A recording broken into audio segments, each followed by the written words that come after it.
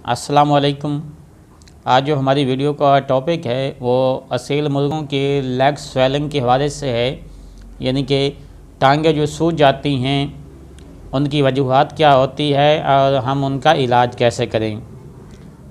तो आज आपको मैं बेहतरीन इलाज भी बताने वाला हूँ तो वीडियो की डिटेल में जाने से पहले आपसे एक छोटी सी रिक्वेस्ट है, अगर आपने अभी तक मेरे इस चैनल को सब्सक्राइब नहीं किया तो जल्दी से इस चैनल को भी सब्सक्राइब कर लें और साथ लगी घंटे के निशान को भी ज़रूर दबा दें ताकि जब भी मैं नई वीडियो अपलोड करूँ, आप तक सबसे पहले पहुँच जाए।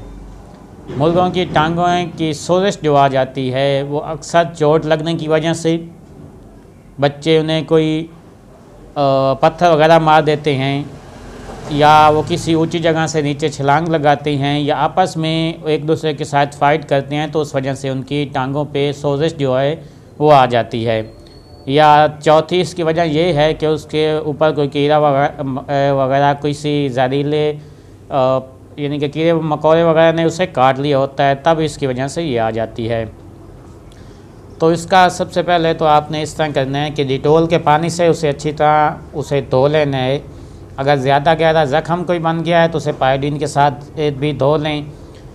नहीं तो सिर्फ़ डिटोल के पानी के साथ सुबह शाम इसे धो के इसके साथ आपने उसे देने हैं वेलो सेफ़ अढ़ाई सौ एम का कैप्सूल।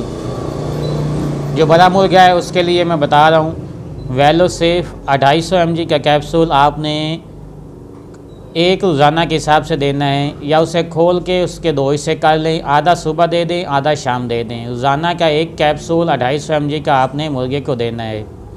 अगर बहुत ज़्यादा इन्फेक्शन फैल गया है तो आप ये सुबह शाम भी इस्तेमाल कर सकते हैं, नहीं तो डेली का एक काफ़ी है। ये चार से पाँच दिन आप बाकायदगी के साथ देंगे।